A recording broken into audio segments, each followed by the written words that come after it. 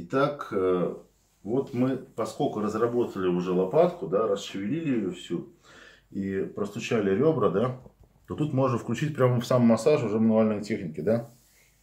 Делается очень быстро. Подныриваем под руку. Клиента просим ничего нам не помогать, не предугадывать движение и не мешать. Вот рука просто висит, да.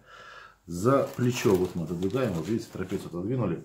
И тут вот есть первое ребро. Можем прям в первое ребро упереться и вот так его вставить. Переходим выше на ребра. И эта рука наша тоже чуть сползает вверх. Видите, последовательно идут друг, параллельно друг другу. То есть целимся не в остистые отростки, а в реберно-поперечное сочленение.